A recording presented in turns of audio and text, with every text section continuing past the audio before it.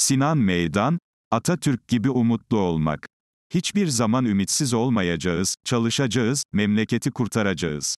Kaybettiğinde değil, umudunu yitirip vazgeçtiğinde yenilirsin. Her ne olursa olsun asla umutsuz olmamalısın. Hele de ilham kaynağın Mustafa Kemal Atatürk ise zaten umutsuz olamazsın. Türk Bağımsızlık Savaşı'nın önderi ve Cumhuriyet devriminin mimarı Mustafa Kemal Atatürk, en zor koşullarda I.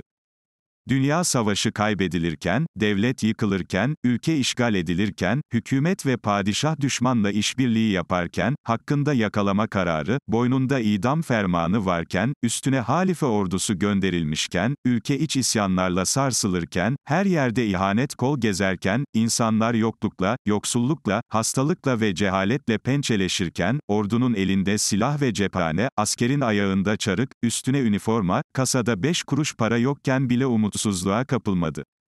Umudun fotoğrafı. Tarih 24 Mayıs 1918 bölü 1911, 1918 arasında tam 7 yıldır savaşan, Balkan bozgununu, Sarıkamış felaketini, Kanal hezimetini yaşamış, Yemen'den Galicia'ya yüz binlerce kilometre kareyi çocuklarının kanlarıyla sulamış, varını yoğunu kaybetmiş, yoksul, yorgun, hastalıklı, eğitimsiz ve çaresiz bir halk, büyük bir endişeyil Birinci Dünya Savaşı'nın sonucunu beklemektedir. Osmanlı Devleti parçalanmak ve yıkılmak üzeredir. Birinci Dünya Savaşı'nda cepheden cepheye koşan Anafartalar kahramanı Mustafa Kemal Paşa o sırada İstanbul'dadır. 24 Mart 1918'de Ruşen Eşref, Mustafa Kemal Paşa ile Çanakkale Savaşları hakkında birkaç gün sürecek uzun bir röportaj yapmıştır. İşte bu röportajdan tam iki ay sonra, 24 Mayıs 1918'de, Mustafa Kemal Paşa, gazeteci Ruşen Eşref Bey'e imzalayıp verdiği bir fotoğrafının kenarına aynen şunları yazmıştır, her şeye rağmen muhakkak bir nura doğru yürümekteyiz. Bende bu imanı yaşatan kuvvet, yalnız aziz memleket ve milletim hakkındaki payansız muhabbetim değil, bugünün karanlıkları, ahlaksızlıkları, şarlatanlıkları içinde sırf vatan ve hakikat aşkıyla ziya serpmeye ve aramaya çalışan bir gençlik görmemdir. O sırada Mustafa Kemal'in Samsun'a çıkmasına daha bir yıl, TBMM'yi toplamasına iki yıl, Sakarya'da düşmanı durdurmasına üç yıl, büyük taarruzu kazanmasına dört yıl vardır. Yokluğun, yoksulluğun, geri kalmışlığın kol gezdiği yıkıcı bir savaş ortamında, yeni büyük felaketlere gebe çok umutsuz günlerde Mustafa Kemal yine de umudunu kaybetmemiş, her şeye rağmen, kesinlikle, bir aydınlığa doğru yürümekteyiz, demiştir. Ancak bu öylesine boş bir umut değildir. Mustafa Kemal'in umudunun iki önemli dayanağı vardır. 1. Memlekete ve millete sonsuz sevgisi. 2. Vatan ve gerçek aşkıyla hareket eden bir gençlik görmesi. Mustafa Kemal, daha sonra 1919'da Sivas'ta, Mazhar Müfit Kansu'ya da, bütün ümidim gençliktedir, diyecektir. Daha sonra da 1927'de okuyacağı nutuku, genliğe hitabe ile bitirerek Türkiye Cumhuriyeti'ni gençlere emanet edecektir. Mustafa Kemal'in, 24 Mayıs 1918'de Ruşen Eşref'e imzalayıp verdiği o fotoğraf. Geldikleri gibi giderler. Tarih, 13 Kasım 1918, Mustafa Kemal Paşa'nın Adana'dan bindiği tren 13 Kasım 1918 Çarşamba günü saat 12.45'te İstanbul Haydarpaşa Garı'na gelmiştir. Tam o saatlerde İstanbul, İtilaf devletlerince fiilen işgal edilmektedir. O gün 22 İngiliz, 12 Fransız, 17 İtalyan, 4 Yunan gemisi ve 6 denizaltıdan oluşan 61 parçalık İtilaf donanması Boğaz'a girerek İstanbul limanına demirlemiştir. Aynı gün 11 savaş gemisi ile Y.P. Sara adlı bir Yunan gemisinin daha gelmesiyle Boğaz'daki işgal filosu 73 gemiye ulaşacaktır. Bu donanmayı, çok değil, daha 3 yıl önce Çanakkale'de durduran ordunun başındaki anafartalar kahramanı Mustafa Kemal, şimdi o donanmanın Boğaz'dan geçişini seyretmek zorunda kalmıştır. Üzgündür. Bir ara ağzından, hata ettim. İstanbul'a gelmemeliydim. Bir an önce Anadolu'ya dönmenin çaresine bakmalı, sözleri dökülür. Üzgündür, ancak ümitsiz değildir. Öğleden sonra Boğaz'daki düşman gemilerinin arasından karşıya geçerken yanındaki yaveri Cevat Abbas Bey'in duyacağı şekilde, geldikleri gibi giderler. Demiştir. Cevat Abbas, o anı şöyle anlatıyor, İstanbul'a geldiğimiz günü hiç unutmam. Şehrin çok hazin bir hali vardı. İstanbul, düşman donanmalarının limana girmeleri felaketinin yasını tutuyor, bu büyük yasa Atatürk'ü de ortak ediyordu.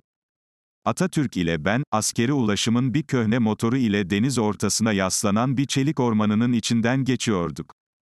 Atatürk'ün zarif dudak. İstanbul'un işgali Mustafa Kemal'i asla korkutmamış, yıldırmamış, umutsuzluğa düşürmemiştir. Tam tersine bu işgal onun mücadele azmini ateşlemiştir. Sonunda Mustafa Kemal haklı çıkmıştır. Şevket Süreyya Aydemir'in deyişiyle, bir gün geldi, bütün bu gemiler geldikleri gibi gittiler. Hem de onun gönderdiği askerleri selamlayarak. Fakat geldikleri gibi gitmeleri hiç kolay olmamıştır, bunun için 5 yıl boyunca olağanüstü bir mücadele verilmiştir. Güneş ufuktan şimdi doğar. Tarih 25 Mayıs 1919 bölü 15 Mayıs 1919'da İzmir Yunanlarca işgal edilmiştir. Osmanlı saray hükümeti işgale boyun eğmiştir. 19 Mayıs 1919'da Samsun'a çıkan Mustafa Kemal Paşa, 25 Mayıs 1919 Pazar günü öğleden sonra Samsun'dan Havza'ya geçmektedir. Havza yolunda bozulan otomobilinden inip, dağ başını duman almış, marşını söyleyerek yürümeye başlamış, arkadaşları da onu takip etmiştir. Çünkü Mustafa Kemal Paşa, İzmir'in işgaline rağmen umudunu kaybetmemiştir. O işgal karanlığına rağmen güneşin ufuktan doğacağına inancı tamdır. Larından, geldikleri gibi giderler, cümlesini işittiğim zaman, mütarekenin doğurduğu derin ve elemli ümitsizliği derhal unutmuştum. Cevabımda aceleci davrandım. Size nasip olacak, siz bunları kovacaksınız paşam, dedim. Gülümsedi. Aziz başının içinde şekillenmeye başlayan vatan kurtarma planlarını bir an için yeniden geçiriyor gibi daldı. Sonra, bakalım, dedi. Atatürk, yıllar sonra, 27 Mart 1937'de, Ankara Halkevi'nde Bursalı gençlere bu olayı şöyle anlatmıştır, arkadaşlar, ben 1919 senesi Mayıs'ı içinde Samsun'a çıktığım gün elimde maddi hiçbir kuvvet yoktu. Yalnız büyük Türk milletinin asaletinden doğan ve benim vicdanımı dolduran yüksek ve manevi bir kuvvet vardı. İşte ben bu ulusal kuvvete, Türk milletine güvenerek işe başladım. Samsun'dan Anadolu içlerine kırık bir otomobille gidiyordum. O kırık otomobil Anadolu yollarında ilerlerken, ben Türk ufuklarından bir gün mutlak bir güneş doğacağına, bunun hararet ve kuvvetinin bizi ısıtacağına, bundan bize bir güç çıkacağına o kadar emindim ki, bunu adeta gözlerimle görüyordum. O şarkıyı okutup tekrar ettirmekten maksadım Türk'ün bu güneşi doğunca muvaffak olacağını anlatmak içindi.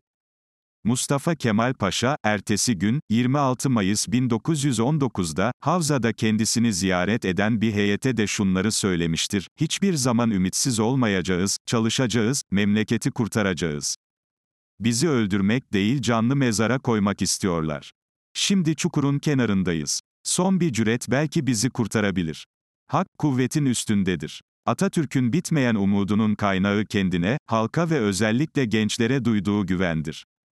O ayrıca hep davasının haklılığına güvenmiştir. Bu nedenle Kurtuluş Savaşı'nın başlarında Ankara'da, herhalde dünyada bir hak vardır ve hak kuvvetin üstündedir, demiştir.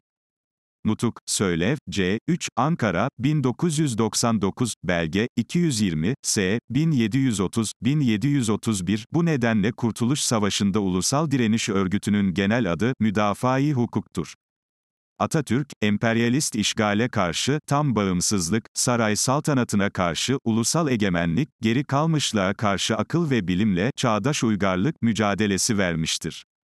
O, Türk ulusunun özgürlük, bağımsızlık, egemenlik ve çağdaş uygarlık hakkını savunmuştur. Cumhuriyetimiz ikinci yüzyılına girerken pek çok sorunla karşı karşıyadır. Ancak umudu koruyarak, hatalardan ders alarak akılcı, bilimsel ve gerçekçi yaklaşımla bütün bu sorunların üstesinden gelebileceğimize inanmak gerekir. Atatürk, bize en zor koşullarda bile umutsuz olmamayı öğretmiştir. En zor koşullarda bile kurtuluşun mümkün olabileceğini, kendi ifadesiyle, Türk ufuklarından bir gün mutlaka bir güneşin doğacağını göstermiştir. Umudunu yitirme. Kendine güven. Başını kaldır ve ufka bak, her şeye rağmen güneşin doğmakta olduğunu göreceksin.